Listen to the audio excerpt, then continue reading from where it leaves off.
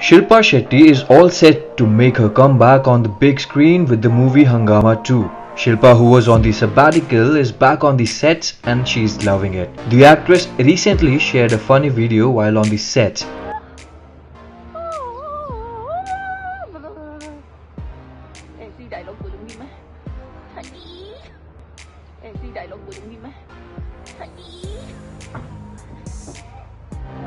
Shilpa had taken a break from the movies to look after her son Vian, and as we all know, she has raised him quite well. Shilpa is a hands on mother, from teaching her son baking to helping him with his homework, she does it all.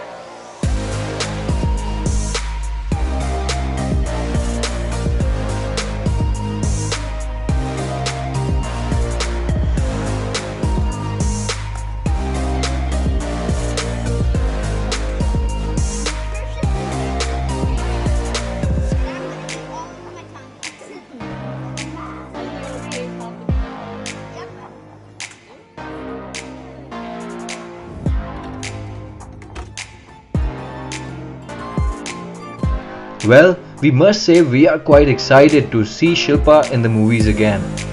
What about you? Let us know in the comments below and don't forget to like, share and subscribe.